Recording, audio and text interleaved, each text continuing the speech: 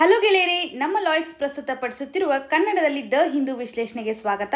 ಇವತ್ತು ನಾವು ಡಿಸೆಂಬರ್ ಇಪ್ಪತ್ತಾರು, ಎರಡು ಸಾವಿರದ ಇಪ್ಪತ್ತೊಂದರ ಹಿಂದೂ ವಿಶ್ಲೇಷಣೆಯನ್ನು ನೋಡಲಿದ್ದೇವೆ. ಇವತ್ತಿನ ಮೊದಲನೇ article every third informal worker is now registered on E Shram ಈ ಆರ್ಟಿಕಲನ್ನು ನಾವು ಸಿಲೆಬಸ್ ನಡಿನಲ್ಲಿ ಜಿ ಎಸ್ ಪೇಪರ್ ಟೂನಲ್ಲಿ ಗವರ್ಮೆಂಟ್ ಪಾಲಿಸೀಸ್ ಆ್ಯಂಡ್ ಇಂಟರ್ವೆನ್ಷನ್ ಹಾಗೂ G S paper ತ್ರೀನಲ್ಲಿ employment issues relating to the ಡೆವಲಪ್ಮೆಂಟಲ್ಲಿ consider ಮಾಡಬಹುದಾಗಿದೆ ಸೊ ಆರ್ಟಿಕಲ್ನ ಕಂಟೆಕ್ಸ್ಟ್ ಯಾವ ರೀತಿಯಾಗಿದೆ? ಈ ಶ್ರಮ್ ಪೋರ್ಟಲ್ನ ವಿಷಯವಾಗಿ ಇನ್ಫಾರ್ಮಲ್ ಸೆಕ್ಟರಲ್ಲಿ ಯಾವ ರೀತಿಯಾದಂಥ ರಿಜಿಸ್ಟ್ರೇಷನ್ ನಡೀತಾ ಇದೆ ಅನ್ನೋದ್ರ ಬಗ್ಗೆ ಈ ಒಂದು ಆರ್ಟಿಕಲಲ್ಲಿ ನಾವು ಇನ್ಫಾರ್ಮೇಷನನ್ನು ನೋಡ್ಬೋದು.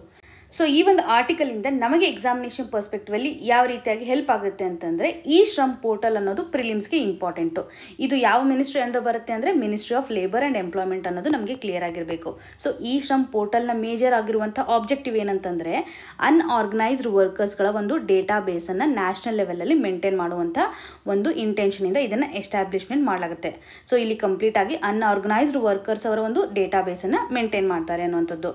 ಸೊ ಯಾವ ರೀತಿಯಾಗಿ ಈ ಒಂದು ಅನ್ಆರ್ಗನೈಸ್ಡ್ ವರ್ಕರ್ಸನ್ನು ಕವರ್ ಮಾಡ್ತಾರೆ? ಕನ್ಸ್ಟ್ರಕ್ಷನ್ ಆ್ಯಕ್ಟಿವಿಟೀಸ್ ಮಾಡೋದು ಮೈಗ್ರೆಂಟ್ ವರ್ಕರ್ಸ್ ಇರ್ಬೋದು ಗಿಗ್ ಅಥವಾ ಟೆಂಪರರಿ ಬೇಸ್ಡ್ ಮೇಲೆ ವರ್ಕ್ ಮಾಡುವಂಥದ್ದು, ಮತ್ತು ಸ್ಟ್ರೀಟ್ ವೆಂಡರ್ಸ್ ಇರ್ಬೋದು ಡೊಮ್ಯಾಸ್ಟಿಕ್ ವರ್ಕರ್ಸ್ ಅಗ್ರಿಕಲ್ಚರ್ಗೆ ರಿಲೇಟೆಡ್ ಇರುವಂಥ ವರ್ಕರ್ಸ್ ಅದರ್ ಅನ್ಆರ್ಗನೈಸ್ಡ್ ವರ್ಕರ್ಸ್ ಅಂದರೆ ಇವಾಗ ಮ್ಯಾನುವಲ್ ಸ್ಕ್ಯಾವೆಂಜರ್ಸ್ ಇರ್ತಾರೆ ಕಾಂಟ್ರಾಕ್ಟ್ ಬೇಸ್ ಮೇಲೆ ವರ್ಕ್ ಮಾಡೋರು ಇರ್ತಾರೆ, ಕೆಲವೊಂದಿಷ್ಟು ವೆಹಿಕಲ್ಸ್ಗಳನ್ನು ಹೊಂದಿರ್ತಾರೆ ವೆಜಿಟೇಬಲನ್ನು ಮತ್ತು ಫ್ರೂಟನ್ನು ಮಾರುವಂಥ ಶಾಪ್ಸ್ಗಳಿರ್ತವೆ ಇವೆಲ್ಲ ವರ್ಕರ್ಸ್ಗಳನ್ನು ಈ ಒಂದು ಇ ಶ್ರಮ್ ಪೋರ್ಟಲಲ್ಲಿ ರಿಜಿಸ್ಟ್ರೇಷನನ್ನು ಮಾಡಲಾಗುತ್ತೆ ಅಥವಾ ಡೇಟಾವನ್ನು ಮೇಂಟೈನ್ ಮಾಡ್ತಾರೆ ಅನ್ನುವಂಥದ್ದು ನಮಗೆ ಕ್ಲಿಯರ್ ಆಗಿರಬೇಕು. ಸೊ ಈ ಒಂದು ಪೋರ್ಟಲನ್ನು ಯಾವಾಗ ಎಸ್ಟಾಬ್ಲಿಷ್ಮೆಂಟ್ ಮಾಡಲಾಗುತ್ತೆ? ಸುಪ್ರೀಂ ಕೋರ್ಟ್ ಅವರು ಗೌರ್ಮೆಂಟ್ಗೆ ಒಂದು ಡೈರೆಕ್ಷನನ್ನು ಕೊಟ್ಟಿರ್ತಾರೆ. ಅನ್ಆರ್ಗನೈಸ್ಡ್ ವರ್ಕರ್ಸ್ ಯಾರ್ಯಾರಿದ್ದಾರೆ, ಅವರ ಒಂದು ಕಂಪ್ಲೀಟ್ ಡೇಟಾವನ್ನು ನಾವು ಮೇಂಟೈನ್ ಮಾಡಬೇಕು ಅನ್ನುವಂಥದ್ದನ್ನು. ಸೊ ಆ ಟೈಮಲ್ಲಿ ಗೌರ್ಮೆಂಟು ಈ ಶ್ರಮ್ ಪೋರ್ಟಲನ್ನು ಎಸ್ಟಾಬ್ಲಿಷ್ಮೆಂಟ್ ಮಾಡಲಾಗುತ್ತೆ. ಸೊ ಯಾಕೆ ಮೇನ್ ಇಂಟೆನ್ಷನ್ ಅಂತಂದರೆ, ಸರ್ಕಾರ ಮಾಡುವಂಥ ಹಲವಾರು ವೆಲ್ಫೇರ್ ಸ್ಕೀಮ್ಸ್ಗಳ ಒಂದು ಬೆನಿಫಿಟನ್ನು ಅನ್ಆರ್ಗನೈಸ್ ಸೆಕ್ಟರಲ್ಲಿ ಪ್ರಾಪರ್ ಆಗಿ ಸಿಗಲಿ ಅನ್ನುವಂಥ ಒಂದು ನಿಟ್ಟಿನಲ್ಲಿ ಈ ಒಂದು ಪೋರ್ಟಲನ್ನು ಕ್ರಿಯೇಟ್ ಮಾಡಲಾಗುತ್ತೆ. ಈ ಪೋರ್ಟಲನ್ನು ಕ್ರಿಯೇಟ್ ಮಾಡ್ತಾರಲ್ಲ, ಇದರ ಒಂದು ಟಾರ್ಗೆಟ್ ಯಾವ ರೀತಿಯಾಗಿರುತ್ತೆ ಅಂತಂದರೆ ಥರ್ಟಿ ಏಟ್ ಕರೋರ್ ಅನ್ಆರ್ಗನೈಸ್ಡ್ ವರ್ಕರ್ಸನ್ನು ಇದರಲ್ಲಿ ಇನ್ಕ್ಲೂಡ್ ಮಾಡಬೇಕು ಅನ್ನುವಂಥದ್ದನ್ನು ಏಮ್ ಇಟ್ಕೊಂಡು ಈ ಒಂದು ಪೋರ್ಟಲನ್ನು ರೆಡಿ ಮಾಡಿರ್ತಾರೆ. ಸೊ ಇದರಲ್ಲಿ ಮೇಜರಾಗಿ ನಾವು ನೋಡಿರೋ ಪ್ರಕಾರ ಅನ್ಆರ್ಗನೈಸ್ ಸೆಕ್ಟ್ರಲ್ಲಿ ವರ್ಕರ್ಸ್ ಆಗಿರುವಂತಹ ಕನ್ಸ್ಟ್ರಕ್ಷನ್ ಲೇಬರ್ಸ್ ಮೈಗ್ರೆಂಟ್ ವರ್ಕರ್ಸ್ ಇವನ್ನೆಲ್ಲನೂ ಇನ್ಕ್ಲೂಡ್ ಮಾಡುವಂಥ ನಿಟ್ಟಿನಲ್ಲಿ ಮಾಡಲಾಗುತ್ತೆ. ಹಾಗೂ ಈ ಒಂದು ಪೋರ್ಟಲ್ ನಡಿನಲ್ಲಿ ರಿಜಿಸ್ಟರ್ ಆಗಿರುವಂಥ ವರ್ಕರ್ಗೆ ಯಾವ ರೀತಿಯಾದಂಥ ಬೆನಿಫಿಟ್ಸ್ ಇರುತ್ತೆ?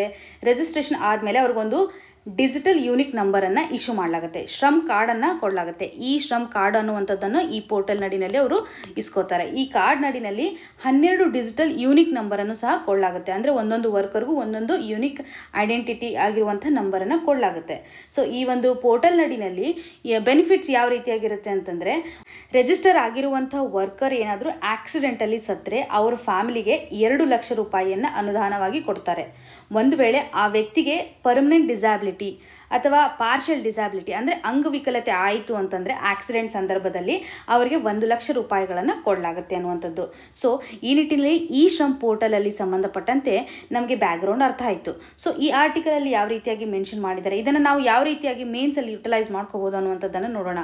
ಸೊ ಆರ್ಟಿಕಲಲ್ಲಿ ನೀವು ನೋಡೋ ಪ್ರಕಾರ ಈ ಒಂದು ಪ್ರೋಗ್ರಾಮ್ ಮೇಜರ್ ಆಗಿ ಮಾಡಿರುವಂಥ ಇಂಟೆನ್ಷನ್ ಏನಂತಂದರೆ ಗೌರ್ಮೆಂಟು ಸೋಷಿಯಲ್ ಸೆಕ್ಯೂರಿಟಿಯನ್ನು ಪ್ರೊವೈಡ್ ಮಾಡೋದಕ್ಕೋಸ್ಕರ ಅಥವಾ ವೆಲ್ಫೇರ್ ಬೆನಿಫಿಟ್ಸ್ಗಳನ್ನು ಅನ್ಆರ್ಗನೈಸ್ ಸೆಕ್ಟರ್ಗೆ ರೀಚ್ ಆಗುವಂತೆ ಮಾಡೋದಕ್ಕೋಸ್ಕರ ಈ ಒಂದು ಪ್ರೋಗ್ರಾಮನ್ನು ಸ್ಟಾರ್ಟ್ ಮಾಡಲಾಗುತ್ತೆ ಅನ್ನುವಂಥದ್ದನ್ನು ನಾವಿಲ್ಲಿ ನೋಡ್ಬೋದು. ಮತ್ತು ಈ ಒಂದು ಪೋರ್ಟಲನ್ನು ಸ್ಟಾರ್ಟ್ ಆಗಿ ನಾಲ್ಕು ಮಂತಲ್ಲೇ ನಾವು ಫೋರ್ಟೀನ್ ಕ್ರೋರ್ ಕ್ರಾಸ್ ಆಗಿರುವಂಥ ರಿಜಿಸ್ಟ್ರೇಷನನ್ನು ನೋಡ್ಬೋದಾಗಿದೆ. ಟಾಪ್ ಫೈವ್ ಸ್ಟೇಟ್ಸ್ಗಳು ಯಾವ್ಯಾವ ಇದಾವೆ ಅಂತಂದರೆ ಯು ಪಿ ನೋಡ್ಬೋದು ವೆಸ್ಟ್ ಬೆಂಗಾಲ್ ಇದೆ ಬಿಹಾರ್ ಒಡಿಶಾ, ಜಾರ್ಖಂಡ್ ಈ ರೀತಿಯಾಗಿ ಐದು ಸ್ಟೇಟ್ಗಳಲ್ಲಿ ರಿಜಿಸ್ಟ್ರೇಷನ್ ಹೆಚ್ಚಾಗಿರೋದನ್ನು ನೋಡ್ಬೋದು. ಇನ್ನು ಜೆಂಡರ್ಗೆ ರಿಲೇಟೆಡ್ ಇರುವಂತೆ ನಾವು ಇಲ್ಲಿ ಮಹಿಳೆಯರ ಒಂದು ರಿಜಿಸ್ಟ್ರೇಷನ್ ಸಂಖ್ಯೆಯನ್ನು ಹೆಚ್ಚಾಗಿ ನೋಡ್ಬೋದಾಗಿದೆ. Fifty two point five six female registration ಆಗಿದೆ ಹಾಗೂ forty seven point forty four percentage male registration ಆಗಿರೋದನ್ನು ನೋಡ್ಬೋದು. ಹಾಗೂ ಕೆಟಗರಿ ವೈಸು ಸಹ ಈ ಆರ್ಟಿಕಲಲ್ಲಿ ಮೆನ್ಷನ್ ಮಾಡಿದ್ದಾರೆ. ಕೆಟಗರಿನಲ್ಲಿ ನೋಡಿದಾಗ ಒ ಬಿ ಫಸ್ಟ್ ಬರುತ್ತೆ. Forty two point six four percentage ಇದೆ. ನೆಕ್ಸ್ಟ್ ಜನರಲ್ ಕೆಟಗರಿ ನೋಡ್ತಾ ಇದ್ದೀವಿ twenty six point forty five percentage ಇನ್ನು ಶೆಡ್ಯೂಲ್ ಕಾಸ್ಟ್ ಹಾಗೂ ಶೆಡ್ಯೂಲ್ ಟ್ರೈಬು ಸಹ ನೆಕ್ಸ್ಟ್ ಬರುವಂಥದ್ದನ್ನು ನಾವು ಇಲ್ಲಿ ನೋಡಬಹುದಾಗಿದೆ ಹಾಗೂ ಈ ಒಂದು ಅನ್ಆರ್ಗನೈಸ್ ಸೆಕ್ಟರಲ್ಲಿ ಇನ್ಕಮ್ ಬೇಸ್ಡ್ ಮೇಲೆ ರಿಜಿಸ್ಟ್ರೇಷನನ್ನು ಕನ್ಸಿಡರ್ ಮಾಡಿದಾಗ ninety seven percentage minimum ten thousand per month ಬರುವಂಥ ವರ್ಕರ್ಸ್ಗಳನ್ನು ರಿಜಿಸ್ಟ್ರೇಷನ್ ನೋಡ್ಬೋದು. ಹಾಗೂ ಫೋರ್ ಪರ್ಸೆಂಟು ಟೆನ್ ತೌಸಂಡಿಂದ ಫಿಫ್ಟೀನ್ ತೌಸಂಡ್ ಆ ಒಂದು ಗ್ಯಾಪ್ ನಡಿನಲ್ಲಿ ಇರುವಂಥ ಅಥವಾ ಈ ರೇಂಜಲ್ಲಿ ಇರುವಂಥ ರಿಜಿಸ್ಟ್ರೇಷನನ್ನು ನೋಡ್ಬೋದಾಗಿದೆ. ಇಲ್ಲಿ ಟೋಟಲ್ ಆಗಿ ಫಿಫ್ಟಿ ಒನ್ ಪರ್ಸೆಂಟ್ ವರ್ಕರ್ ಏನಿದೆಯಲ್ಲ, ಅದು ಫಾರ್ಮ್ ಲೇಬರಿಂದ ನೋಡ್ತಾ ಇದ್ದೀವಿ.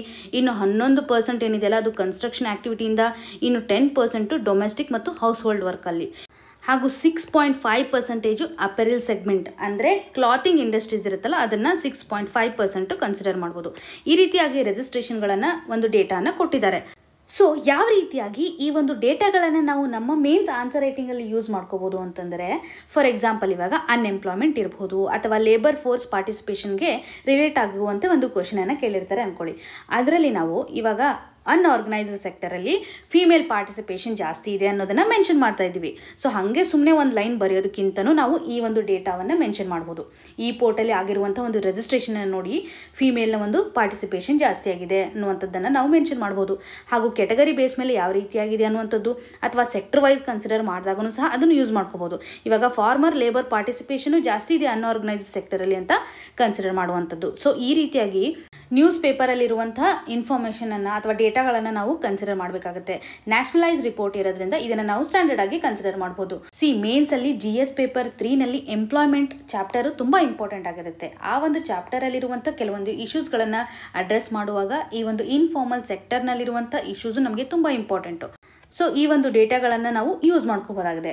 ನಿಮಗೆಲ್ಲ ತಿಳಿದಿರೋ ಪ್ರಕಾರ ಪಿರಿಯಾಡಿಕ್ ಲೇಬರ್ ಫೋರ್ಸ್ ಸರ್ವೆ ಏನು ಹೇಳುತ್ತೆ ನಮಗೆ?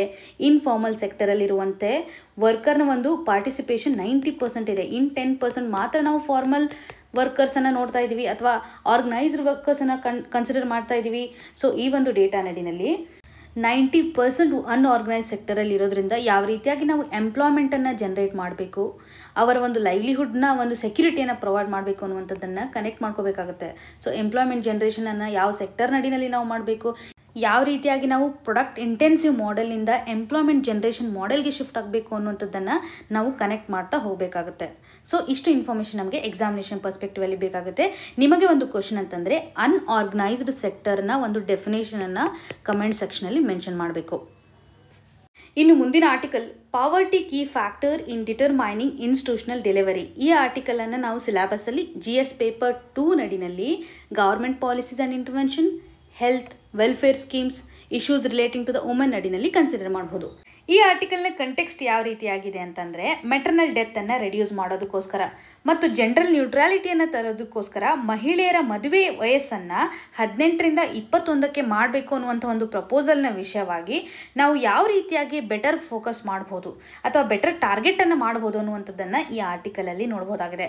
ಸೊ ಯಾವ ರೀತಿಯಾಗಿ ಸೋಷೋ ಡೆಮೋಕ್ರಾಟಿಕ್ ಫ್ಯಾಕ್ಟರ್ಸ್ಗಳನ್ನು ನಾವು ಕನ್ಸಿಡರ್ ಮಾಡೋದ್ರ ಮೂಲಕ ಮೆಟರ್ನಲ್ ಡೆತ್ತನ್ನು ರೆಡ್ಯೂಸ್ ಮಾಡಬಹುದು ಅನ್ನುವಂಥದ್ದನ್ನು ಇಲ್ಲಿ ನೋಡಬೇಕಾಗುತ್ತೆ. ಸೊ ಈ ಒಂದು ಆರ್ಟಿಕಲಲ್ಲಿ ಎಂಫಸೈಸ್ ಮಾಡಿರುವಂಥ ಕೆಲವೊಂದಿಷ್ಟು ಕೀ ಪಾಯಿಂಟ್ಸ್ಗಳನ್ನು ಕನ್ಸಿಡರ್ ಮಾಡೋದಾದರೆ ಪಾವರ್ಟಿ ಇರ್ಬೋದು ಎಜುಕೇಷನ್ ಇರ್ಬೋದು, ಅಥವಾ ಕಮ್ಯುನಿಟಿ ಹೆಲ್ತ್ಗೆ ಎಕ್ಸ್ಪೋಸರ್ ಆಗುವಂಥ ಈ ಮೂರು ಫ್ಯಾಕ್ಟರ್ಸ್ಗಳು ಅಥವಾ ಸೋಷಿಯೋ ಡೆಮೋಕ್ರಾಟಿಕ್ ಫ್ಯಾಕ್ಟರ್ಸ್ಗಳು ಮದುವೆ ಏಜನ್ನು ಇನ್ಕ್ರೀಸ್ ಮಾಡೋದಕ್ಕಿಂತನೂ ತುಂಬ ಇಂಪಾರ್ಟೆಂಟ್ ಆಗಿದೆ. ಯಾಕೆಂತಂದರೆ ಈ ಸೋಷಿಯೋ ಡೆಮೋಕ್ರಾಟಿಕ್ ಫ್ಯಾಕ್ಟರ್ಸ್ಗಳು ಈ ಮೂರು ಫ್ಯಾಕ್ಟರ್ಸ್ಗಳು ಏನು ಮಾಡುತ್ತೆ ಅಂತಂದರೆ ಇನ್ಸ್ಟಿಟ್ಯೂಷನಲ್ ಡೆಲಿವರಿ ಆಗೋದ್ರಲ್ಲಿ ಮೇಜರ್ ಆಗಿರುವಂಥ ಕಾಂಟ್ರಿಬ್ಯೂಷನ್ಸನ್ನು ಮಾಡ್ತಾ ಇದ್ದಾವೆ ಇದರಿಂದಾಗಿ ಮೆಡಿಕಲ್ ಫೆಸಿಲಿಟಿ ಮುಖಾಂತರ ಸೇಫ್ ಬರ್ತ್ ಬರ್ತನ್ನು ಎನ್ಶೋರ್ ಮಾಡಬಹುದು ಹಾಗೂ ಮೆಟರ್ನಲ್ ಮೋರ್ಟಾಲಿಟಿ ರೇಟ್ಗಳನ್ನು ಕಡಿಮೆ ಮಾಡಬಹುದು ಚೈಲ್ಡ್ ಬರ್ತ್ ರಿಲೇಟೆಡ್ ಕಾಂಪ್ಲಿಕೇಶನ್ಸನ್ನು ತಡೆಗಟ್ಟಬಹುದು ಅನ್ನುವಂಥದ್ದನ್ನು ನೋಡ್ಬೋದಾಗಿದೆ. ಸೊ ಈ ರೀತಿಯಾಗಿ ಸೋಷಿಯೋ ಡೆಮೋಕ್ರೆಟಿಕ್ ಫ್ಯಾಕ್ಟರ್ಸ್ಗಳ ಒಂದು ಇನ್ಫ್ಲೂಯೆನ್ಸನ್ನು ನಾವು ಕೆಲವೊಂದಿಷ್ಟು ರಿಪೋರ್ಟ್ನಲ್ಲಿ ಕನ್ಸಿಡರ್ ಮಾಡ್ಬೋದು. ಗ್ಲೋಬಲ್ ಹೆಲ್ತ್ ಆ್ಯಕ್ಷನ್ ಇರ್ಬೋದು ಅಥವಾ ನ್ಯಾಷನಲ್ ಫ್ಯಾಮಿಲಿ ಹೆಲ್ತ್ ಸರ್ವೇನ ಪ್ರಕಾರ ಈ ಸೋಷಿಯೋ ಡೆಮೋಕ್ರೆಟಿಕ್ ಫ್ಯಾಕ್ಟರ್ಸ್ಗಳು ಪಾವರ್ಟಿ ಎಜುಕೇಷನ್ ಮತ್ತು ಹೆಲ್ತ್ ಇವೆಲ್ಲನೂ ಸಹ ಇನ್ಸ್ಟಿಟ್ಯೂಷನಲ್ ಡೆಲಿವರಿಗೆ ಕಾಂಟ್ರಿಬ್ಯೂಷನನ್ನು ಮಾಡ್ತವೆ ಅನ್ನುವಂಥದ್ದನ್ನು ಕನ್ಸಿಡರ್ ಮಾಡಬಹುದಾಗಿದೆ ಹಾಗೂ ಕೆಲವೊಂದಿಷ್ಟು ಡೇಟಾಗಳ ಪ್ರಕಾರ ಒಂಬತ್ತು ಸ್ಟೇಟ್ಗಳಲ್ಲಿ ಬಟರ್ನಲ್ ಮೋರ್ಟಾಲಿಟಿ ಬರ್ತ್ ಅನ್ನೋದು ಹೈಯೆಸ್ಟ್ ಆಗಿದೆ ಅಥವಾ ಬರ್ಡನ್ ಜಾಸ್ತಿ ಇದೆ ಅನ್ನೋದನ್ನು ನೋಡ್ಬೋದು. ಇದರಲ್ಲಿ ಮೆನ್ಷನ್ ಮಾಡಿರುವಂಥ ಒಂಬತ್ತು ಸ್ಟೇಟ್ಸ್ಗಳಂದರೆ ಅಸ್ಸಾಂ, ಬಿಹಾರ್, ಛತ್ತೀಸ್ಗಢ, ಜಾರ್ಖಂಡ್, ಮಧ್ಯಪ್ರದೇಶ್, ಒಡಿಶಾ, ರಾಜಸ್ಥಾನ್, ಉತ್ತರ ಪ್ರದೇಶ್ ಆಲ್ಮೋಸ್ಟ್ ನಾರ್ತಲ್ಲಿರುವಂಥ ಎಲ್ಲ ಸ್ಟೇಟ್ಸ್ಗಳನ್ನು ನಾವು ಇಲ್ಲಿ ಕನ್ಸಿಡರ್ ಮಾಡ್ಬೋದು. ಇಲ್ಲಿ ಮೆಟರ್ನಲ್ ಮೋರ್ಟಾಲಿಟಿ ರೇಟನ್ನು ಕನ್ಸಿಡರ್ ಮಾಡಿದಾಗ ಈ ನೈನ್ ಸ್ಟೇಟ್ಗಳ ಒಂದು ಕಾಂಟ್ರಿಬ್ಯೂಷನ್ ಯಾವ ರೀತಿಯಾಗಿದೆ? Maternal death sixty two percent seventy one percent infant death ಇರಬಹುದು ಅಥವಾ ಸೆವೆಂಟಿ ಟೂ ಪರ್ಸೆಂಟ್ ಅಂಡರ್ ಫೈಲಿರುವಂಥ ಡೆತ್ತನ್ನು ನೋಡಿದಾಗ, ಹಾಗೂ ಟೋಟಲ್ ಆಗಿ ಗ್ಲೋಬಲ್ ಲೆವೆಲಲ್ಲಿ maternal death twelve percent contribution ಈ ಒಂಬತ್ತು ಸ್ಟೇಟ್ಗಳಿಂದ ಬರುತ್ತೆ ಅನ್ನುವಂಥದ್ದು. ಇನ್ನು ಮೆಟರ್ನಲ್ ಮೋರ್ಟಾಲಿಟಿ ರೇಟನ್ನು ಯಾವ ರೀತಿಯಾಗಿ ಕನ್ಸಿಡರ್ ಮಾಡ್ತಾರೆ ಅಂತಂದರೆ ಒನ್ ಲ್ಯಾಕ್ ಡೆಲಿವರಿನಲ್ಲಿ ಒನ್ನೂರ ಹದಿಮೂರು ಜನ ಒಂದು ಡೆತ್ ಆಗಿದೆ ಅನ್ನೋದನ್ನು ಕನ್ಸಿಡರ್ ಮಾಡ್ಬೋದು. ಇದು ನ್ಯಾಷನಲ್ ಲೆವೆಲಲ್ಲಿರುವಂಥ ಡೇಟಾ ಇನ್ನು ನೈನ್ ಕಂಟ್ರಿಗಳ ಒಂದು ಎವರೇಜನ್ನು ಕನ್ಸಿಡರ್ ಮಾಡಿದಾಗ ಒಂದು ನೂರ ಹದಿನಾರು ಡೆತ್ಗಳನ್ನು ನಾವು ಒಂದು ಲ್ಯಾಕ್ ಡೆಲಿವರಿನಲ್ಲಿ ನೋಡ್ತೀವಿ ಅನ್ನುವಂಥದ್ದನ್ನು ನೋಡ್ಬೋದಾಗಿದೆ. ಸೊ ಈ ನಿಟ್ಟಿನಲ್ಲಿ ಸೋಷಿಯೋ ಡೆಮೋಗ್ರಾಫಿಕ್ ಫ್ಯಾಕ್ಟರ್ಸ್ಗಳನ್ನು ಕನ್ಸಿಡರ್ ಮಾಡೋದ್ರಿಂದ ಯಾವ ರೀತಿಯಾಗಿ ಅವರನ್ನು ಎಜುಕೇಟ್ ಮಾಡ್ಬೋದು? ಸೊ ಎಜುಕೇಟೆಡ್ ಇರುವಂತಹ ಮಹಿಳೆಯರು ಇನ್ಸ್ಟಿಟ್ಯೂಷನಲ್ ಡೆಲಿವರಿಯನ್ನು ಪ್ರಿಫರ್ ಮಾಡ್ತಾರೆ. ಇನ್ನು ಪಾವರ್ಟಿ ಕಡಿಮೆ ಇತ್ತಂತಂದರೆ ಅವರು ಇನ್ಸ್ಟಿಟ್ಯೂಷನಲ್ ಡೆಲಿವರಿಯನ್ನು ಅಫೋರ್ಡ್ ಮಾಡುವಂತಿಲ್ಲ ಅನ್ನುವಂಥದ್ದನ್ನು ನೋಡ್ಬೋದಾಗಿದೆ. ಸೊ ನಾವು ಇವಾಗ ಮ್ಯಾರೇಜ್ ಏಜನ್ನು ಇನ್ಕ್ರೀಸ್ ಮಾಡೋಕ್ಕಿಂತ ಎಷ್ಟು ಮುಖ್ಯವಾಗಿ ಎಜುಕೇಷನ್ ಅನ್ನೋದು ಇಂಪಾರ್ಟೆಂಟ್ ಆಗುತ್ತೆ ಪಾವರ್ಟಿ ಸ್ಟೇಟಸ್ ಇಂಪಾರ್ಟೆಂಟ್ ಆಗುತ್ತೆ, ಹಾಗೂ ಹೆಲ್ತ್ ಸರ್ವಿಸ್ ಯಾವ ರೀತಿಯಾಗಿ ನಾವು ಅವ್ರಿಗೆ ಎನ್ಶೋರ್ ಮಾಡಬೇಕು ಅನ್ನುವಂಥ ಪಾಲಿಸೀಸ್ಗಳು ತುಂಬ ಇಂಪಾರ್ಟೆಂಟ್ ಅನ್ನೋದನ್ನು ನಾವು ಇಲ್ಲಿ ನೋಡ್ಬೋದು. ಈ ಆರ್ಟಿಕಲಲ್ಲಿ ಮೆನ್ಷನ್ ಮಾಡಿರುವಂತಹ ಜನನಿ ಸುರಕ್ಷಾ ಯೋಜನೆಯೂ ಸಹ ನಾವು ಪ್ರಾಪರಾಗಿ ಅದನ್ನು ರೀಚ್ ಔಟ್ ಮಾಡೋಕ್ಕಾಗಿಲ್ಲ ಅನ್ನೋದನ್ನು ನಾವು ನೋಡ್ಬೋದು. ಯಾವ್ಯಾವ ಸ್ಟೇಟ್ಗಳಲ್ಲಿ ಯಾವ ರೀತಿ ಅದರ ಒಂದು ಸ್ಟೇಟಸ್ ಆಗಿದೆ ಅನ್ನುವಂಥದ್ದನ್ನು. ಸೊ ಓವರಾಲ್ ಆಗಿ ಕೇವಲ ನಾವು ಥರ್ಟಿ ಸಿಕ್ಸ್ ಪರ್ಸೆಂಟೇಜು ಈ ಒಂದು ಟಾರ್ಗೆಟನ್ನು ರೀಚ್ ಮಾಡಿದ್ದೀವಿ ಅಥವಾ ಪ್ರೋಗ್ರಾಮನ್ನು ರೀಚ್ ಮಾಡಿದ್ದೀವಿ ಅನ್ನುವಂಥದ್ದನ್ನು ನೋಡ್ಬೋದು. ಈ ಒಂದು ಜನನಿ ಸುರಕ್ಷಾ ಯೋಜನೆಯನ್ನು ಟೂ ತೌಸಂಡ್ ಫೈವ್ನಲ್ಲಿ ಸ್ಟಾರ್ಟ್ ಮಾಡಲಾಗಿದ್ದು, ಇದು ಒಂದು ಸೆಂಟ್ರಲಿ ಸ್ಪಾನ್ಸರ್ಡ್ ಸ್ಕೀಮ್ ಆಗಿದೆ. ಇಲ್ಲಿ ಮೇಜರ್ ಆಗಿ ಕ್ಯಾಶನ್ನು ಡೆಲಿವರಿ ಟೈಮಲ್ಲಿ ಮತ್ತು ಪೋಸ್ಟ್ ಡೆಲಿವರಿ ಕೇರ್ಗೋಸ್ಕರ ಮಹಿಳೆಯರಿಗೆ ಇನ್ಸ್ಟಿಟ್ಯೂಷನಲ್ ಡೆಲಿವರಿ ಯಾರು ತಗೋತಾರಲ್ಲ ಅವ್ರಿಗೆ ಕೊಡ್ತಾರೆ. ಆಬ್ಜೆಕ್ಟಿವ್ ಯಾವ ರೀತಿಯಾಗಿದೆ ಅಂತಂದರೆ ಈ ಒಂದು ಪ್ರೋಗ್ರಾಮ್ದು ಮೆಟರ್ನಲ್ ಹಾಗೂ ನಿಯೋನೆಟಲ್ ಮೋಟಾಲಿಟಿಯನ್ನು ರಿಡ್ಯೂಸ್ ಮಾಡೋದಕ್ಕೋಸ್ಕರ. ಹಾಗೂ ಕೆಲವೊಂದು ಸ್ಟೇಟ್ಸ್ಗಳಲ್ಲಿ ಯಾವ ರೀತಿಯಾಗಿ ಎಜುಕೇಷನ್ ಸ್ಟೇಟಸ್ಸು ಇನ್ಸ್ಟಿಟ್ಯೂಷನಲ್ ಡೆಲಿವರಿಯನ್ನು ಎನ್ಶೋರ್ ಮಾಡ್ತಾ ಇದೆ ಅನ್ನುವಂಥದ್ದನ್ನು ಇಲ್ಲಿ ಕನ್ಸಿಡರ್ ಮಾಡ್ಬೋದಾಗಿದೆ. ಸೊ ಒಟ್ಟಾರೆಯಾಗಿ ಹೇಳೋದಾದರೆ ಈ ಕೆಲವೊಂದಿಷ್ಟು ಪ್ರೋಗ್ರಾಮ್ಗಳೇನಿದಾವಲ್ಲ ಅದನ್ನು ನಾವು ಎಕ್ಸಿಕ್ಯೂಷನ್ ಲೆವೆಲಲ್ಲಿ ವರ್ಕ್ ಮಾಡಬೇಕು. ಸೊ ನಾವು ಕೇವಲ ಮಹಿಳೆಯರ ಏಜನ್ನು ಇನ್ಕ್ರೀಸ್ ಮಾಡೋದಕ್ಕಿಂತ ಮುಂಚೆ ಸೋಷಿಯೋ ಡೆಮೋಕ್ರೆಟಿಕ್ ಫ್ಯಾಕ್ಟರ್ ಮೇಲೆ ಫೋಕಸ್ ಮಾಡಬೇಕು. ಸೊ ಇದನ್ನು ನಾವು ಏರಿಯಾ ಆಫ್ ಫೋಕಸ್ ಅಂತ ಕನ್ಸಿಡರ್ ಮಾಡ್ಬೋದು ಅನ್ನುವಂಥದ್ದನ್ನು ಈ ಆರ್ಟಿಕಲಲ್ಲಿ ಕನೆಕ್ಟ್ ಮಾಡ್ಬೋದು. ಸೊ ಎಕ್ಸಾಮಿನೇಷನಲ್ಲಿ ನಾವು ಮೇನ್ಸ್ ಪರ್ಸ್ಪೆಕ್ಟಿವಲ್ಲಿ ನೋಡಿದಾಗ ಯಾವ ರೀತಿಯಾಗಿ ಈ ಒಂದು ಇನ್ಸ್ಟಿಟ್ಯೂಷನಲ್ ಡೆಲಿವರಿ ಅನ್ನೋದು ಮೆಟರ್ನಲ್ ಮೋರ್ಟ್ಯಾಲಿಟಿ ರೇಟನ್ನು ಕಡಿಮೆ ಮಾಡುತ್ತೆ ಯಾವ್ಯಾವ ಏರಿಯಾಗಳಲ್ಲಿ ಯಾವ ರೀತಿಯಾದಂಥ ಸ್ಟೇಟಸನ್ನು ನಾವು ನೋಡ್ತೀವಿ, ಹಾಗೂ ಯಾವ ರೀತಿಯಾಗಿ ಈ ಸೋಷಿಯೋ ಡೆಮೋಕ್ರೆಟಿಕ್ ಫ್ಯಾಕ್ಟರ್ಸ್ಗಳು ಇನ್ಫ್ಲೂಯೆನ್ಸ್ ಮಾಡುತ್ತೆ ಅನ್ನೋದನ್ನು ನೀವು ಕನೆಕ್ಟ್ ಮಾಡ್ಬೋದು. ಪ್ರಿಲಿಮ್ಸ್ ಪರ್ಸ್ಪೆಕ್ಟಿವಲ್ಲಿ ನಮಗೆ ಬೇಕಾಗಿರೋದು ಜನನಿ ಸುರಕ್ಷಾ ಯೋಜನೆಯ ವಿಷಯವಾಗಿ ಸೆಂಟ್ರಲಿ ಸ್ಪಾನ್ಸರ್ಡ್ ಸ್ಕೀಮ್ ಇದರ ಮೇನ್ ಆಬ್ಜೆಕ್ಟಿವ್ ಏನಿದೆ ಅನ್ನೋದು ನಮಗೆ ಪ್ರಿಲಿಮ್ಸಲ್ಲಿ ಹೆಲ್ಪ್ ಆಗುತ್ತೆ. ಇನ್ನು ಮುಂದಿನ article Kashmiri apples face Iranian kiwi pests ಈ ಆರ್ಟಿಕಲನ್ನು ಸಿಲೆಬಸಲ್ಲಿ ಜಿ ಎಸ್ ಪೇಪರ್ ತ್ರೀ ನಡಿನಲ್ಲಿ ಕನ್ಸರ್ವೇಷನಲ್ಲಿ ಕನ್ಸಿಡರ್ ಮಾಡ್ಬೋದು. ಈ ಆರ್ಟಿಕಲ್ನ ಕಂಟೆಕ್ಸ್ಟ್ ಯಾವ ರೀತಿಯಾಗಿದೆ ಅಂತಂದರೆ, ಕಾಶ್ಮೀರ ವ್ಯಾಲಿಯಲ್ಲಿ ಯಾರು ಆ್ಯಪಲ್ಸನ್ನು ಪ್ರೊಡ್ಯೂಸ್ ಮಾಡ್ತಾ ಇದ್ದಾರಲ್ಲ, ಅಥವಾ ಆ್ಯಪಲ್ ಗ್ರೋ ಮಾಡುವಂಥ ಡೀಲರ್ಸ್ಗಳು ಹಾರ್ಟಿಕಲ್ಚರ್ ಎಕ್ಸ್ಪರ್ಟ್ಸ್ಗಳಿಗೆ ಹಾಗೂ ಮಿನಿಸ್ಟ್ರಿ ಆಫ್ ಅಗ್ರಿಕಲ್ಚರ್ಗೆ ಒಂದು ಲೆಟರನ್ನು ಬರೆದಿದ್ದಾರೆ. ಈ ಒಂದು ಲೆಟರ್ ನಡಿನಲ್ಲಿ ಇರಾನಿಯನ್ ಕಿವಿಗೆ ಸಂಬಂಧಪಟ್ಟಂಥ ಪೆಸ್ಟ್ಗಳಿದ್ದಾವಲ್ಲ ಇವೆಲ್ಲ ಕಾಶ್ಮೀರದಲ್ಲಿರುವಂಥ ಆ್ಯಪಲನ್ನು ಡೆಸ್ಟ್ರಾಯ್ ಮಾಡ್ಬೋದು ಅನ್ನುವಂಥ ಒಂದು ಕನ್ಸರ್ನ ಮುಖಾಂತರ. ಸೊ, ನಾವು ಇರಾನಿಂದ ಇರಾನಿಯನ್ ಕಿವಿ ಫ್ರೂಟ್ಸ್ಗಳನ್ನು ಇಂಪೋರ್ಟ್ ಮಾಡ್ಕೋತಾ ಇದ್ದೀವಿ. ಇದಕ್ಕೆ ರಿಲೇಟೆಡ್ ಇರುವಂಥ ಪೆಸ್ಟ್ಸ್ ಪೆಸ್ಟ್ಸ್ ಅಂದರೆ ಏನು? ಯಾವುದೇ ಒಂದು ಇನ್ಸೆಕ್ಟ್ ಇರ್ಬೋದು ಅಥವಾ ಆ್ಯನಿಮಲ್ ಇರ್ಬೋದು. ಕ್ರಾಪ್ ಮೇಲೆ ಟಾರ್ಗೆಟ್ ಮಾಡ್ತವೆ ಅಥವಾ ಯಾವುದೇ ಒಂದು ಲೈಫ್ ಸ್ಟಾಕ್ ಮೇಲೆ ಟಾರ್ಗೆಟ್ ಮಾಡ್ತಿರುವಂಥ ಆ್ಯನಿಮಲ್ಸ್ಗಳನ್ನು ಅಥವಾ ಇನ್ಸೆಕ್ಟ್ಸ್ಗಳನ್ನು ನಾವು ಪೆಸ್ಟ್ಸ್ ಅಂತ ಕನ್ಸಿಡರ್ ಮಾಡ್ತೀವಿ. ಸೊ ಕಿವಿಗೆ ರಿಲೇಟೆಡ್ ಇರುವಂಥ ಪೆಸ್ಟ್ಗಳು ಕಾಶ್ಮೀರದಲ್ಲಿರುವಂಥ ಆ್ಯಪಲ್ಸ್ಗಳ ಮೇಲೆ ಅಟ್ಯಾಕ್ ಮಾಡ್ಬೋದು ಅನ್ನುವಂಥದ್ದನ್ನು ಇಲ್ಲಿ ನಾವು ನೋಡ್ಬೋದಾಗಿದೆ. ಸೊ ಯಾವ ರೀತಿಯಾಗಿ ನಾವು ಈ ಒಂದು ಆರ್ಟಿಕಲನ್ನು ಎಕ್ಸಾಮಿನೇಷನ್ ಪರ್ಸ್ಪೆಕ್ಟಿವಲ್ಲಿ ಥಿಂಕ್ ಮಾಡೋದಾದರೆ ಪ್ರಿಲಿಮ್ಸ್ ಎಕ್ಸಾಮಿನೇಷನಲ್ಲಿ ನಾವು ಈ ಒಂದು ಇರಾನಿಯನ್ ಕಿವಿ ಫ್ರೂಟನ್ನು ನೆನ್ಪಿಟ್ಕೋಬೇಕಾಗತ್ತೆ. ಕೆಲವೊಂದಿಷ್ಟು ಸರ್ತಿ ಪ್ರೀವಿಯಸ್ ಇಯರಲ್ಲಿ ಕೇಳಿರುವಂಥ ಕ್ವಶನ್ ಆಧಾರದ ಮೇಲೆ ಕೊಟ್ಟಿರುವಂಥ ಕ್ವಶನ್ಸ್ಗಳಲ್ಲಿ ಯಾವುದು ಇಂಪೋರ್ಟೆಡ್ ಫ್ರೂಟ್ ಇರ್ಬೋದು ಅಥವಾ ಕೆಲವೊಂದಿಷ್ಟು ಅಗ್ರಿಕಲ್ಚರ್ ಕಮೋಡಿಟೀಸ್ಗಳನ್ನು ಮೆನ್ಷನ್ ಮಾಡ್ಬೋದು. ಎಲಿಮಿನೇಷನ್ ಮಾಡುವಾಗ ನಮಗೆ ಹೆಲ್ಪ್ ಆಗುತ್ತೆ. ಹಾಗೂ ಕನ್ಸರ್ವೇಷನ್ಗೆ ಸಂಬಂಧಪಟ್ಟಂಥ ಇಶ್ಯೂ ಏನಾದರೂ ಬಂದಾಗ ಯಾವ ರೀತಿಯಾಗಿ ಇಂಪೋರ್ಟೆಡ್ ಗೂಡ್ಸ್ಗಳು ನಮ್ಮ ಒಂದು ಸ್ಪೀಷಸ್ ಮೇಲೆ ಇಂಪ್ಯಾಕ್ಟನ್ನು ಮಾಡ್ತಾ ಇರುತ್ತೆ? ಅಥವಾ ಪೆಸ್ಟ್ಗಳ ಒಂದು ಇಂಪ್ಯಾಕ್ಟ್ ಯಾವ ರೀತಿಯಾಗಿ ಡೆಸ್ಟ್ರಾಯ್ ಮಾಡ್ಬೋದು ನಮ್ಮ ಒಂದು ಅಗ್ರಿಕಲ್ಚರ್ ಕಮೋಡಿಟೀಸನ್ನು ಅಂತನ್ನುವಾಗ ಈ ಒಂದು ಎಕ್ಸಾಂಪಲನ್ನು ನೀವು ಅಲ್ಲಿ ಕನ್ಸಿಡರ್ ಮಾಡ್ಬೋದಾಗಿದೆ. ಇಲ್ಲಿ ನಿಮಗೆ ಒಂದು ಕ್ವಶನನ್ನು ಕೇಳೋದಾದರೆ, ನಮ್ಮ ದೇಶದಲ್ಲಿ ಒಂದು ಸ್ಟೇಟು ಕಿವಿ ಪ್ರೊಡಕ್ಷನ್ಗೆ ಸಂಬಂಧಪಟ್ಟಂತೆ ಆರ್ಗ್ಯಾನಿಕ್ ಸರ್ಟಿಫಿಕೇಷನನ್ನು ರಿಸೀವ್ ಮಾಡಿದೆ. ಸೊ ಯಾವ ಸ್ಟೇಟು ಆರ್ಗ್ಯಾನಿಕ್ ಸರ್ಟಿಫಿಕೇಷನ್ ರಿಸೀವ್ ಮಾಡಿದೆ ಅನ್ನೋದನ್ನು ಕಮೆಂಟ್ ಸೆಕ್ಷನಲ್ಲಿ ಮೆನ್ಷನ್ ಮಾಡಬೇಕು. ಇನ್ನು ಮುಂದಿನ article migratory birds found dead near Chilika lake in Odisha ಈ ಆರ್ಟಿಕಲನ್ನು ನಾವು ಸಿಲಾಬಸಲ್ಲಿ ಜಿ ಎಸ್ ಪೇಪರ್ ತ್ರೀ ನಡಿನಲ್ಲಿ ಕನ್ಸರ್ವೇಷನ್ಗೆ ಸಂಬಂಧಪಟ್ಟಂತೆ ಕನ್ಸಿಡರ್ ಮಾಡ್ಬೋದು. ಆರ್ಟಿಕಲ್ನ ಕಂಟೆಕ್ಸ್ಟ್ ಯಾವ ರೀತಿಯಾಗಿದೆ? ವಿಂಟರ್ ಸೀಸನ್ನಲ್ಲಿ ಮೈಗ್ರೇಟರಿ ಬರ್ಡ್ಸ್ಗಳ ಒಂದು ಆ್ಯಕ್ಟಿವಿಟಿ ಜಾಸ್ತಿ ಆಗಿರುತ್ತೆ ಅಂದರೆ ವಿಂಟರ್ ಸೀಸನಲ್ಲಿ ಜಾಸ್ತಿ ಮೈಗ್ರೇಷನ್ ಆಗೋದನ್ನು ನಾವು ನೋಡ್ತಾ ಇದ್ವಿ. ಈ ಒಂದು ಮೈಗ್ರೇಟರಿ ಬರ್ಡ್ಸ್ಗಳ ಡೆತ್ತು ಚಿಲ್ಕಾ ಲೇಕಲ್ಲಿ ಹೆಚ್ಚಾಗಿದೆ ಅನ್ನೋದನ್ನು ಈ ಆರ್ಟಿಕಲಲ್ಲಿ ಮೆನ್ಷನ್ ಮಾಡಿದ್ದಾರೆ. ಸೊ ಈ ನಿಟ್ಟಿನಲ್ಲಿ ಎಕ್ಸಾಮಿನೇಷನ್ ಪರ್ಸ್ಪೆಕ್ಟಿವಲ್ಲಿ ನಮಗೆ ಬೇಕಾಗಿರುವಂಥ ಇನ್ಫಾರ್ಮೇಷನ್ ಅಂತಂದರೆ ಚಿಲ್ಕಾ ಲೇಕ್ಗೆ ರಿಲೇಟೆಡ್ ಇರುವಂಥ ಎಲ್ಲ ಇನ್ಫಾರ್ಮೇಷನನ್ನು ನಾವು ರಿವೈಸ್ ಮಾಡಬೇಕು ಒಂದು ಸರ್ತಿ. ಸೊ ಇದು ಒಡಿಶಾದಲ್ಲಿ ಬರುತ್ತೆ ಅನ್ನೋದು ನಿಮಗೆ ಕ್ಲಿಯರ್ ಆಗಿರಬೇಕು. ಹಾಗೂ ಚಿಲ್ಕಾ ಲೇಕ್ಗೆ ಸಂಬಂಧಪಟ್ಟಂತೆ ಕೆಲವೊಂದಿಷ್ಟು ಫ್ಯಾಕ್ಚುವಲ್ ಇನ್ಫಾರ್ಮೇಷನನ್ನು ಕನ್ಸಿಡರ್ ಮಾಡೋದಾದರೆ ಚಿಲ್ಕಾ ಲೇಖನ ನಾವು ಬ್ರ್ಯಾಕಿಶ್ ವಾಟರ್ ಲಗೂನ್ ಅಂತ ಹೇಳ್ತೀವಿ. ಇದನ್ನು ಏಷ್ಯಾದಲ್ಲೇ ಲಾರ್ಜೆಸ್ಟ್ ಅನ್ನಲಾಗುತ್ತೆ ಹಾಗೂ ವರ್ಲ್ಡಲ್ಲಿ ನೋಡಿದಾಗ ಸೆಕೆಂಡ್ ಲಾರ್ಜೆಸ್ಟ್ ಲಗೂನ್ ಅಂತ ಕನ್ಸಿಡರ್ ಮಾಡ್ತೀವಿ. ಹಾಗೂ ಚಿಲ್ಕಾ ಲೇಕ್ ಅನ್ನೋದು ಒಡಿಶಾ ಸ್ಟೇಟ್ಗೆ ಬಿಲಾಂಗ್ ಆಗುತ್ತೆ ಅಂದಾಗ ಇದು ಭಾರತದ ಈಸ್ಟ್ ಕೋಸ್ಟಲ್ಲಿ ಇರುತ್ತೆ ಅನ್ನೋದನ್ನ ನಾವು ನೋಡಬಹುದು ಸೊ ಒಡಿಶಾದಲ್ಲಿ ಯಾವ್ಯಾವ ಡಿಸ್ಟಿಕ್ಕಲ್ಲಿ ಚಿಲ್ಕಾ ಲೇಕ್ ಸ್ಪ್ರೆಡ್ ಆಗಿರೋದನ್ನ ನೋಡ್ತೀವಿ ಅಂತಂದ್ರೆ ಪೂರಿ, ಕುರ್ಡಾ ಗಂಜಮ್ ಅನ್ನುವಂಥ ಡಿಸ್ಟಿಕ್ಕನ್ನು ಕನ್ಸಿಡರ್ ಮಾಡಬಹುದು ಸೊ ಈ ಒಂದು ಚಿಲ್ಕಾ ಲೇಕ್ ಅಲ್ಲಿ ಮೈಗ್ರೇಟರಿ ಸ್ಪೀಜಸ್ಗೆ ಬೇಕಾಗಿರುವಂಥ ಫೆವರೇಬಲ್ ಕಂಡೀಷನ್ ಪ್ರೊವೈಡ್ ಇರೋದ್ರಿಂದ ಹೆಚ್ಚಾಗಿ ನಾವು ಮೈಗ್ರೇಷನ್ ಆಗೋದನ್ನ ನೋಡ್ತಾ ಇದ್ದೀವಿ ಸೊ ಹಲವಾರು ಮೈಗ್ರೇಟರಿ ಸ್ಪೀಷಸ್ಗೆ ಹಾಗೂ ಥ್ರೆಟನ್ ಸ್ಪೀಷಸ್ಗೆ ಇದೊಂದು ಹೋಮ್ ಆಗಿ ಆ್ಯಕ್ಟ್ ಮಾಡ್ತಾ ಇದೆ ಅನ್ನುವಂಥದ್ದನ್ನು ನೋಡ್ಬೋದು. ಇಂಡಿಯನ್ ಸಬ್ ಕಾಂಟಿನೆಂಟಲ್ಲಿ ಹೈಯೆಸ್ಟ್ ಮೈಗ್ರೇಟರಿ ಸ್ಪೀಷಸನ್ನು ರಿಸೀವ್ ಮಾಡುವಂಥ ಪ್ಲೇಸ್ ಅಂದರೆ ಚಿಲ್ಕಾ ಲೇಕ್ ಅನ್ನುವಂಥದ್ದು ನಿಮಗೆ ಕ್ಲಿಯರ್ ಆಗಿರಬೇಕು. ಹಾಗೂ ನೈನ್ಟೀನ್ ಏಯ್ಟಿ ಒನ್ನಲ್ಲಿ ಚಿಲ್ಕಾ ಲೇಕನ್ನು Ramsar convention ನಡಿನಲ್ಲಿ Indian wetland of international importance ಅಂತ ಕನ್ಸಿಡರ್ ಮಾಡಿದ್ದಾರೆ. ಸೊ ಇದು ನಮಗೆ ಇಂಪಾರ್ಟೆಂಟು ರಾಮ್ಸರ್ ಕನ್ವೆನ್ಷನಲ್ಲಿ ಸಹ ಚಿಲ್ಕಾ ಲೇಕ್ ಬರುತ್ತೆ ಅನ್ನುವಂಥದ್ದು ನಮಗೆ ಕರೆಕ್ಟಾಗಿ ಗೊತ್ತಿರಬೇಕು. ಇಲ್ಲಿ ನಿಮಗೆ ಒಂದು ಕ್ವಶನನ್ನು ಕೇಳೋದಾದರೆ, ಚಿಲ್ಕಾ ಲೇಕ್ಗೆ ಸಂಬಂಧಪಟ್ಟಂತೆ ಸತ್ಪದ ಅನ್ನುವಂಥ ಒಂದು ಐಲ್ಯಾಂಡ್ ಇದೆ. ಈ ಐಲ್ಯಾಂಡಲ್ಲಿ ನಾವು ಒಂದು ಮೇಜರ್ ಆಗಿರುವಂಥ ಸ್ಪೀಷಸನ್ನು ನೋಡ್ತಾ ಇದ್ದೀವಿ. ಅಂದರೆ ಸತ್ಪದ ಐಲ್ಯಾಂಡು ಯಾವ ಸ್ಪೀಚಸ್ಗೆ ಫೇಮಸ್ ಇದೆ? ಆ ಒಂದು ಸ್ಪೀಚಸ್ನ ನೇಮನ್ನು ಕಮೆಂಟ್ ಸೆಕ್ಷನಲ್ಲಿ ಮೆನ್ಷನ್ ಮಾಡಬೇಕು. ಇನ್ನು ಮುಂದಿನ article Telangana tops in rurban mission ಈ ಆರ್ಟಿಕಲನ್ನು ನಾವು ಸಿಲೆಬಸಲ್ಲಿ ಕನ್ಸಿಡರ್ ಮಾಡೋದಾದರೆ ಜಿ ಎಸ್ ಪೇಪರ್ ಟೂ ನಡಿನಲ್ಲಿ ಗೌರ್ಮೆಂಟ್ ಪಾಲಿಸೀಸ್ ಆ್ಯಂಡ್ ಇಂಟರ್ವೆನ್ಷನ್ಸಲ್ಲಿ ನೋಡ್ಬೋದು. ಸೊ ಈ ಒಂದು ಆರ್ಟಿಕಲ್ನ ಕಂಟೆಕ್ಸ್ಟ್ ಯಾವ ರೀತಿಯಾಗಿದೆ? ಕೆಲವೊಂದಿಷ್ಟು ಸರ್ವೆ ಪ್ರಕಾರ ರೂರ್ಬನ್ ಮಿಷನನ್ನು ಇಂಪ್ಲಿಮೆಂಟೇಷನ್ ಮಾಡೋದ್ರಲ್ಲಿ ತೆಲಂಗಾಣ ಗೌರ್ಮೆಂಟ್ ಫಸ್ಟ್ ರ್ಯಾಂಕ್ ಇದೆ ಅನ್ನೋದನ್ನು ಈ ಆರ್ಟಿಕಲಲ್ಲಿ ನೋಡ್ಬೋದು. ಟಾಪ್ ಪೊಸಿಷನನ್ನು ತೆಲಂಗಾಣ ಗೌರ್ಮೆಂಟ್ ಪಡ್ಕೊಂಡಿದೆ ಅನ್ನುವಂಥದ್ದನ್ನು. ಸೊ ನಮಗೆ ಎಕ್ಸಾಮಿನೇಷನ್ ಪರ್ಸ್ಪೆಕ್ಟಿವಲ್ಲಿ ರೂರ್ಬನ್ ಮಿಷನ್ನ ವಿಷಯವಾಗಿ ಕೆಲವೊಂದಿಷ್ಟು ಇನ್ಫಾರ್ಮೇಷನನ್ನು ಕನ್ಸಿಡರ್ ಮಾಡಬೇಕಾಗುತ್ತೆ. So rurban mission full form ಏನಿದೆ? ಶ್ಯಾಮ್ ಪ್ರಸಾದ್ ಮುಖರ್ಜಿ ರೂರ್ಬನ್ ಮಿಷನ್ ಅನ್ನುವಂಥದ್ದು. ಈ ಮಿಷನನ್ನು ಎರಡು ಸಾವಿರದ ಹದಿನಾರರಲ್ಲಿ ಮಿನಿಸ್ಟ್ರಿ ಆಫ್ ರೂರಲ್ ಡೆವಲಪ್ಮೆಂಟ್ ನಡಿನಲ್ಲಿ ಸ್ಟಾರ್ಟ್ ಮಾಡಲಾಗುತ್ತೆ.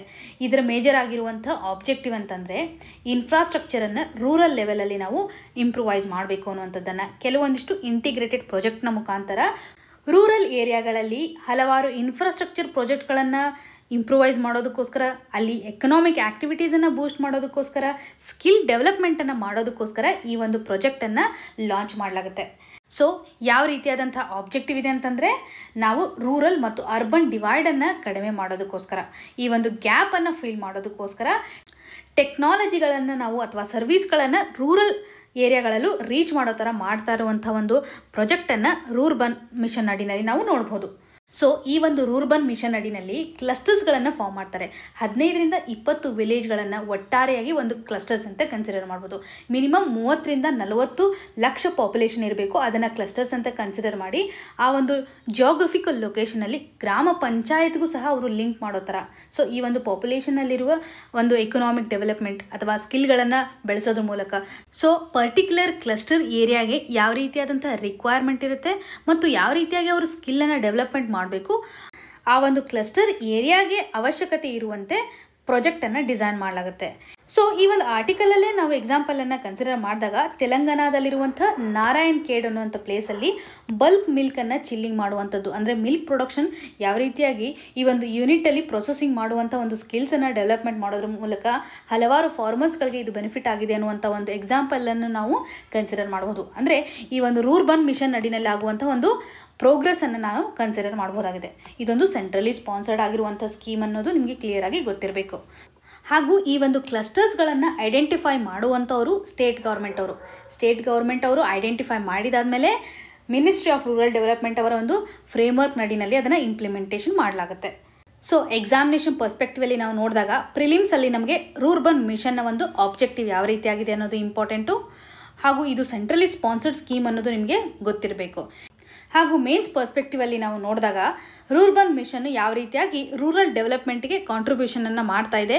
ಈ ತೆಲಂಗಾಣದ ಒಂದು ಎಕ್ಸಾಂಪಲನ್ನು ಸಹ ನಾವು ಮೆನ್ಷನ್ ಮಾಡ್ಬೋದು. ಇಲ್ಲಿ ಮಿಲ್ಕ್ ಪ್ರೊಡಕ್ಷನ್ ಯಾವ ರೀತಿಯಾಗಿ ಇನ್ಕ್ರೀಸ್ ಮಾಡಿದ್ದಾರೆ ಅನ್ನೋದನ್ನು ನಾವು ಎಕ್ಸಾಂಪಲ್ ಕೊಡ್ಬೋದಾಗಿದೆ. ಸೊ ರೂರ್ಬನ್ ಮಿಷನಿಂದ ಅತಿ ಹೆಚ್ಚು ಬೆನಿಫಿಟನ್ನು ಪಡ್ಕೊಂಡಿರೋದು ಅಂತಂದರೆ ತೆಲಂಗಾಣ ಸೆಕೆಂಡು ತಮಿಳ್ನಾಡು ಥರ್ಡು ಗುಜರಾತ್. ಇದ್ರ ಬಗ್ಗೆನೂ ಸಹ ನಿಮಗೆ ಸ್ವಲ್ಪ ಐಡಿಯಾ ಇದ್ದರೆ ಸಾಕಾಗುತ್ತೆ. ಇನ್ನು ಮುಂದಿನ ಆರ್ಟಿಕಲನ್ನು ಕ್ವಶನ್ ಕಾರ್ನರಿಂದ ಸೆಲೆಕ್ಟ್ ಮಾಡಿಕೊಳ್ಳಲಾಗಿದ್ದು ಸ್ಮೆಲ್ ಫ್ಯಾಕ್ಟರ್ನ ವಿಷಯವಾಗಿ ಮೆನ್ಷನ್ ಮಾಡಿದ್ದಾರೆ. Examination perspectively basic science G S paper ತ್ರೀನಲ್ಲಿ ನಾವು ಇದನ್ನ ಕನ್ಸಿಡರ್ ಮಾಡಬಹುದು ಇಲ್ಲಿ ನಾವು ಅರ್ಥ ಮಾಡ್ಕೋಬೇಕಾಗಿರುವಂಥ ಎರಡು ಪಾಯಿಂಟ್ ಅಂತಂದರೆ ಫಸ್ಟ್ ಪಾಯಿಂಟಲ್ಲಿ ಆಲ್ ಫ್ಯಾಕ್ಟ್ರಿ ಬಲ್ಬ್ ಅನ್ನೋದು ಇಂಪಾರ್ಟೆಂಟು ಆಲ್ ಫ್ಯಾಕ್ಟ್ರಿ ಬಲ್ಬ್ ಅನ್ನೋದು ಸ್ಮೆಲ್ಗೆ ಕನೆಕ್ಟ್ ಆಗುತ್ತೆ ಅನ್ನೋದು ಕನ್ಸಿಡರ್ ಮಾಡ್ಬೋದು. ಡೈರೆಕ್ಟಾಗಿ ಕ್ವಶನ್ ಕೇಳ್ಬೋದು. ಆಲ್ ಫ್ಯಾಕ್ಟ್ರಿ ಬಲ್ಬ್ ಅನ್ನುವಂಥ ಆರ್ಗನ್ನು ಯಾವುದಕ್ಕೆ ರಿಲೇಟೆಡ್ ಇದೆ ಅನ್ನೋದನ್ನು ಕೊಟ್ಟು ಕೆಳಗಡೆ ನಿಮಗೆ ಟೇಸ್ಟು ಸ್ಮೆಲ್ ಈ ಥರ ಸ್ಟೇಟ್ಮೆಂಟನ್ನು ಕೊಡಬಹುದು ಸೊ ನಿಮಗೆ ಕ್ಲಿಯರ್ ಆಗಿರಬೇಕು ಆಲ್ ಫ್ಯಾಕ್ಟ್ರಿ ಬಲ್ಬ್ ಅನ್ನೋದು ಸ್ಮೆಲ್ಗೆ ರಿಲೇಟೆಡ್ ಇರುವಂಥ ಒಂದು ಆರ್ಗನ್ ಇದೆ ಅನ್ನೋದು. ಹಾಗೂ ಈ ಒಂದು ಆರ್ಟಿಕಲಲ್ಲಿ ಯಾವ ರೀತಿಯಾಗಿ ನಾವು ಸ್ಮೆಲ್ಲನ್ನು ರಿಸೀವ್ ಮಾಡ್ತೀವಿ ಅನ್ನೋದನ್ನು ರಿಸರ್ಚ್ನ ಆಧಾರದ ಮೇಲೆ ಹೇಳಿದ್ದಾರೆ. ನಾರ್ಮಲ್ ಆಗಿ ನಾವು ಎರಡು ರೀತಿಯಾದಂಥ ಸ್ಮೆಲ್ಸ್ಗಳನ್ನು ನೋಡ್ತೀವಿ. ಒಂದು ಪ್ಲೆಸೆಂಟ್ ಮತ್ತು ಅನ್ಪ್ಲೆಸೆಂಟ್ ಅನ್ನುವಂಥದ್ದು.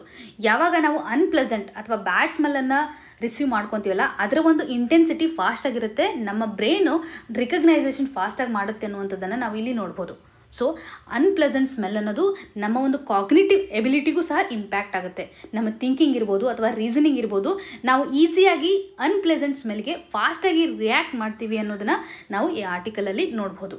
ಸೊ ಈ ಒಂದು ಆರ್ಟಿಕಲ್ನ ಪ್ರಕಾರ ನಾವು ಪಾಸಿಟಿವ್ ಸ್ಮೆಲ್ಗೆ ತೋರಿಸುವಂಥ ರೆಸ್ಪಾನ್ಸ್ ಡ್ಯೂರೇಷನ್ಕಿನೂ ಅನ್ಪ್ಲೆಸೆಂಟ್ ಸ್ಮೆಲ್ಗೆ ಫಾಸ್ಟಾಗಿ ತೋರಿಸ್ತೀವಿ ಅಥವಾ ವೆರಿ ರ್ಯಾಪಿಡಾಗಿ ತೋರಿಸ್ತೀವಿ ಅನ್ನೋದನ್ನು ಮೆನ್ಷನ್ ಮಾಡಿದ್ದಾರೆ.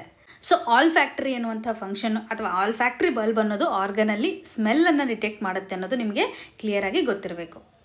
ಇವತ್ತಿನ question of the day section ಅಡಿನಲ್ಲಿ three D ಪ್ರಿಂಟಿಂಗ್ಗೆ ಸಂಬಂಧಪಟ್ಟಂತೆ ಇದರ ಅಪ್ಲಿಕೇಶನ್ ಯಾವ ರೀತಿಯಾಗಿದೆ ಅನ್ನೋದ್ರ ಬಗ್ಗೆ ಕೇಳಾಗಿದೆ ಇದು ಪ್ರಿವಿಯಸ್ ಇಯರಲ್ಲೇ ಕೇಳಿರುವಂಥ ಕ್ವಶನು ಈ ಕ್ವಶನ್ಗೆ ಸರಿಯಾದ ಉತ್ತರವನ್ನು ಕಮೆಂಟ್ ಸೆಕ್ಷನಲ್ಲಿ ಮೆನ್ಷನ್ ಮಾಡಿ. ಇವತ್ತು ಡಿಸ್ಕಸ್ ಮಾಡಿರುವಂತಹ ಎಲ್ಲ ಆರ್ಟಿಕಲ್ಗಳು ನಿಮಗೆ ನೀಟಾಗಿ ಅರ್ಥ ಆಗಿದೆ ಅಂತ ಭಾವಿಸ್ತಾ ಇದ್ದೀನಿ. ನಿಮ್ಗೆ ಏನೇ ಕನ್ಸರ್ನ್ ಇದ್ರೂ ಸಹ ಕಮೆಂಟ್ ಸೆಕ್ಷನಲ್ಲಿ ಮೆನ್ಷನ್ ಮಾಡಿ ಅಂತ ಹೇಳ್ತಾ, ಆಲ್ ದ ವೆರಿ ಬೆಸ್ಟ್, ಧನ್ಯವಾದಗಳು.